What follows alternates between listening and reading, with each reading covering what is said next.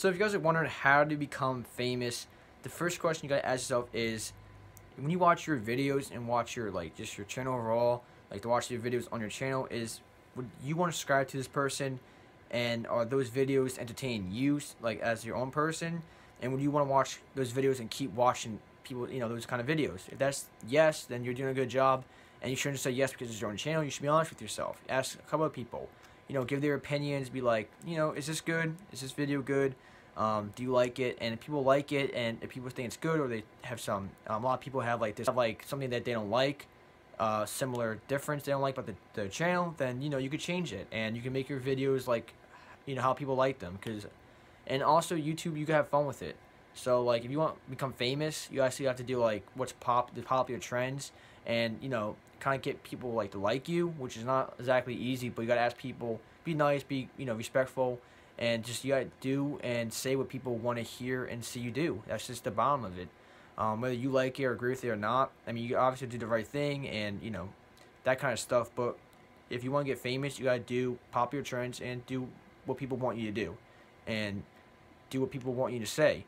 It's not easy, but you know, if you keep making videos and you keep doing it and you keep asking people their opinions and you keep doing what people say what they want you to do, you will get subscribers and you will become famous eventually. Everyone grows at a different rate, but you will get there eventually. You gotta keep uploading and keep uploading. It might take you slower and longer, but it will eventually happen. So that's how you basically get famous, guys. It's not exactly hard, but it's not exactly easy.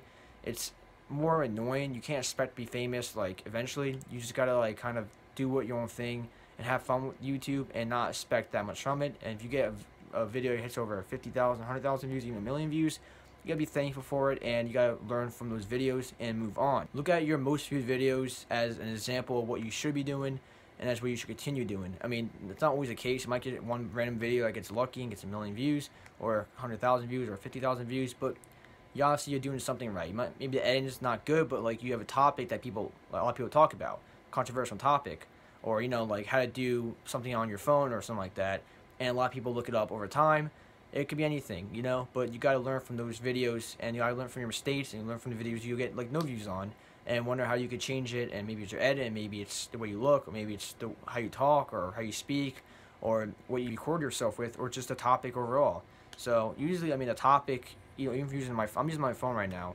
but i'm saying just like the topic of what I'm making a video of is obviously the big idea and the big thing that's to make me famous or make me get a lot of views on each video and gain me subscribers. But you guys have to do what's best for you and have fun with it. So hopefully you guys get famous and good luck.